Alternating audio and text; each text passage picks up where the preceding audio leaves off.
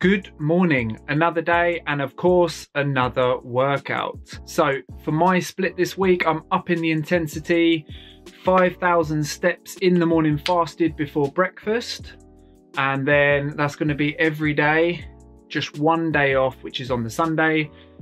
My split this week is going to be today is going to be arms, so shoulders, biceps, and triceps. Tomorrow is going to be a heavy leg session Wednesday is going to be chest and back, focusing more on volume, so hypertrophy, reps increasing.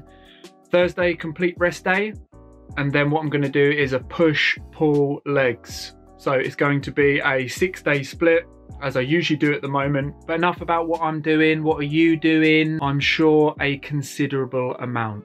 To those of you who have already purchased my Shred for Summer plan, Greatly appreciated and thanking you very much. Anyway, enough of being boring.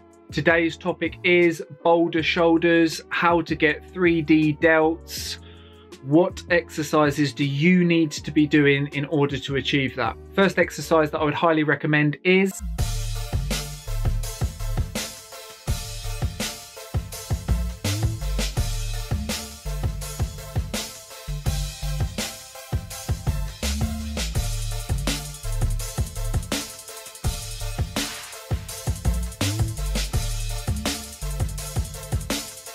Reasons why, very simple.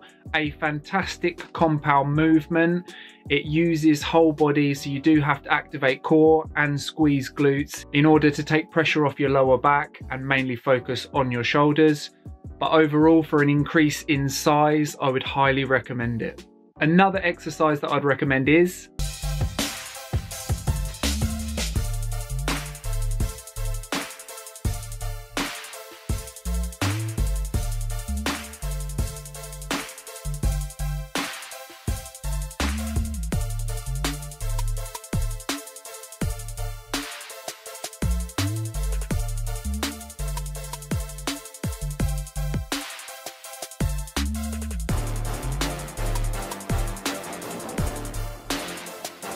So breaking that down, the shoulder has three heads. It has the front, the middle, and the rear. In order to achieve boulder shoulders, you need to make sure that you are targeting each specific area. So an absolute must is lateral raises.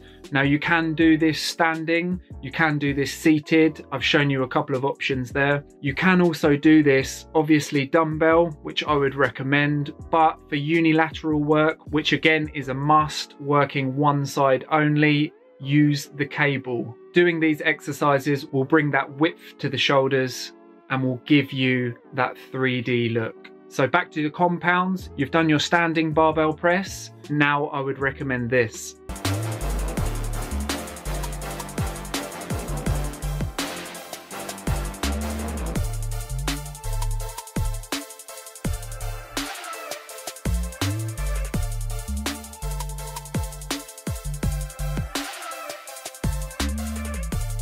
I'm doing this exercise barbell seated. You can also, and I usually would if I had heavy enough dumbbells, is do a dumbbell shoulder press. It is important to note that with the seat position here, some people have the seat completely upright, which is absolutely fine as long as you have enough range of motion and you're able to press from that position, not out in front because if you do that, you just put pressure on your lower back and you're not actually effectively working the area properly. I tend to just move that seat back just a little bit, more focus on the front delt, and it's better for my engagement of the muscle. But it is personal preference and it's entirely up to you. Now to focus on that front portion. The exercise that I'd recommend for this is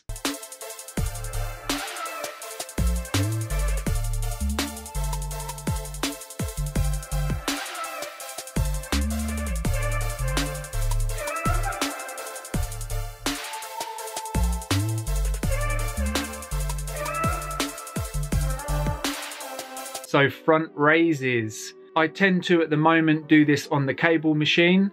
Barbell is just as effective and you can also do unilateral or both at the same time for your front raises seated with dumbbells. And lastly, to finish, what a lot of people actually tend to leave out is the rear delts. You can do this on a reverse pec deck fly machine, which if you have the gym, obviously you would use or definitely incorporate that in one of your sessions. But what I tend to do now is go for the dumbbell version, as you can see.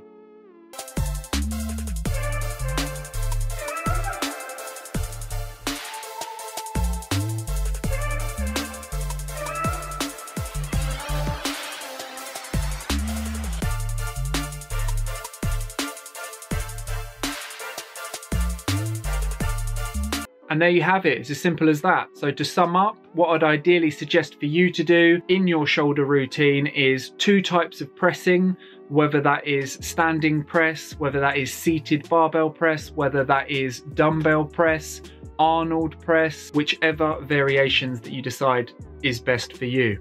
Two different types of lateral raises, and finally, two variations focusing on your rear delts. Oh, hiya, what are you up to?